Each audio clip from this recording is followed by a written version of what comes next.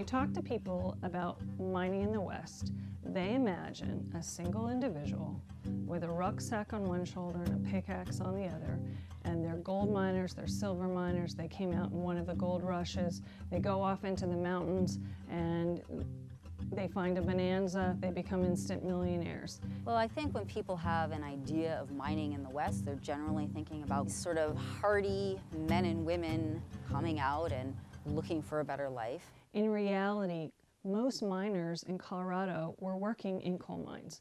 It's dirty work, it's dangerous work, it's not glamorous work. They're working in big teams. A miner would go in, the miner would begin by drilling holes in the coal, and then he would load dynamite in the holes, then he would shoot the coal and break it up, and then he would go in there, load the coal into his coal car, and that's how we got paid. So sometimes miners would bring home paychecks that were literally cents for working an entire week in the coal mine.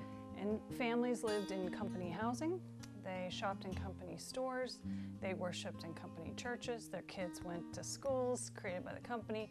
So, for all intents and purposes, life in coal camps was dominated by Colorado Fuel and Iron and other coal companies in southern Colorado.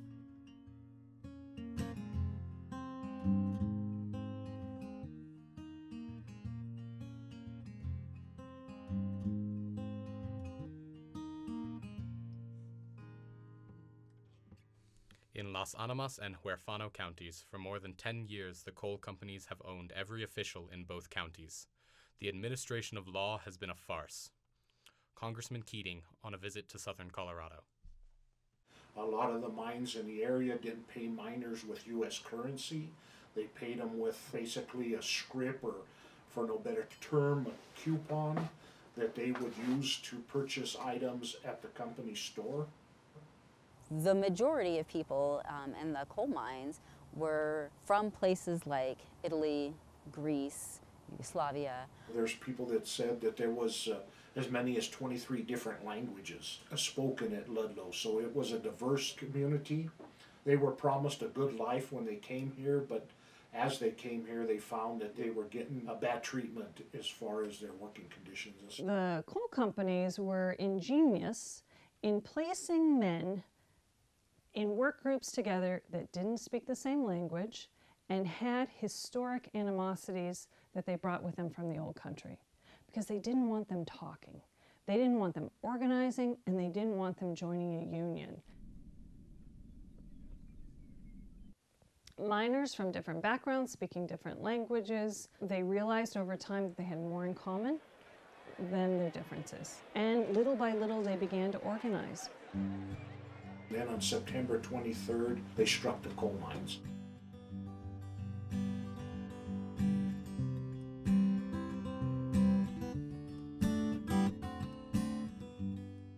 So the decision to strike was a family decision.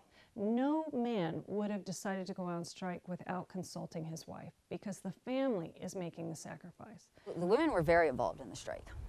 They were involved at all levels. It was actually the women that were more pro strikers than, than some of their husbands were. If their husband had got hurt or died, you know, if they didn't have any means of supporting themselves in the coal camp, they were evicted. They knew the sacrifice of the strike. They knew that they were willing to risk everything to get better living and working conditions. Women were equal to men in making that decision. They set up tent colonies. One of the biggest ones was Ludlow. There were communities in the coal camps, but they tended to be sort of ethnically segregated, and there were some ethnic groups that did not like other ethnic groups. However, when you get to the strikers' tent colony, the people will talk about the time as sort of a very peaceful, happy time where people got along. The larger enemy of the corporation quieted a lot of that ethnic tension. Louis Tikas was one of the union organizers that was in charge of the tent colony. He was incredibly articulate, well-read. He was a he was a person who brought together different nationalities, people from different backgrounds, uh, and he was excellent at it. So tensions had been building for days and weeks.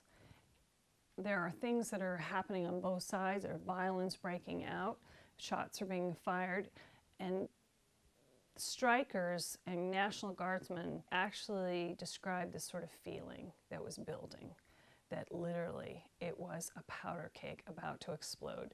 Colorado National Guard had come in early on um, in the beginning part of the strike, but the cost of, of keeping the National Guard members down there started to bankrupt the state. And so the governor had started pulling some of the guard out, and it sort of devolved into some National Guard, some sort of local militia and hired gun type people.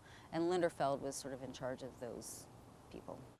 He rages violently upon little or no provocation, and is wholly an unfit man to bear arms and command men, as he has no control over himself. We have reason to believe that it is his deliberate purpose to provoke the strikers to bloodshed. Signed by all the committee. Sometime in the early morning hours of April 20th, 1914, shots were fired. No one can say where they came from or who fired the first shot. Louis Tikas, with a white flag, tried to approach the leaders of the National Guard to, to try to get them to stop shooting, and it ended up costing him his life. They busted a rifle over his head and then uh, shot him three times, and he lay dead there on the railroad tracks. They murdered him to send a signal to the other miners that their lives were valueless. The uh, militia came through, and somehow the tent colony started on fire. No, I didn't see them put the kerosene on the tent, but I saw the blaze. And I said that I've already put the children down in the well. It was a vacant well. It was gone dry, and I put all the children, there was about 24 or 25 of them, and I put them down one by one. And the women got their mothers and got them and laid them down. They were safer there from the bullets.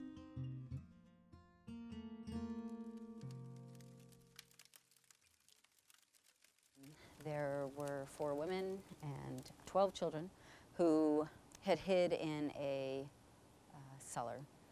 And when the tent above them caught on fire, all of the children and two of the women uh, were suffocated and killed.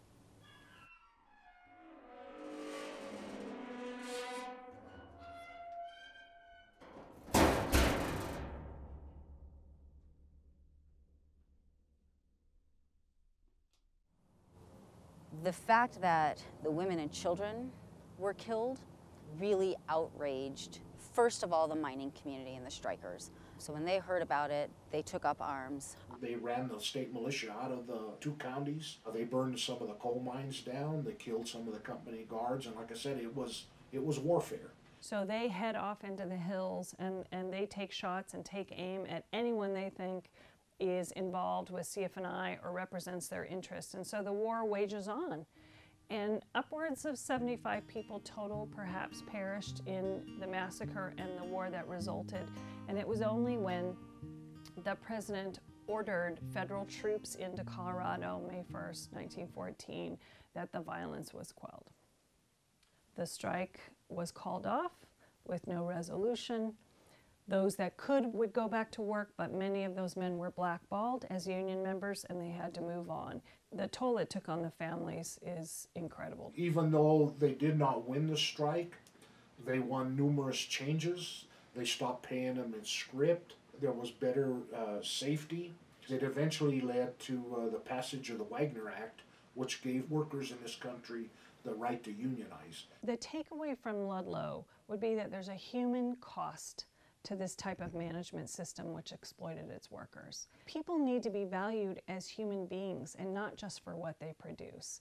And I think Ludlow is a constant reminder that we need to do better. I stand on their shoulders, uh, not only as a miner, but as a worker, because they, uh, they set a good table for me, and I think I owe them the world.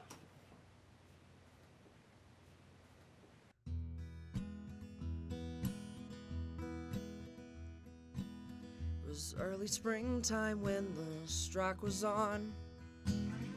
They drove us miners out the door. Out from the houses that the company owned. We moved tents into old Ludlow. It was early springtime when the strike was on. They drove us miners out the door. Out from the houses that the company owned. We moved into tents at old Ludlow. We moved into tents at old Ludlow.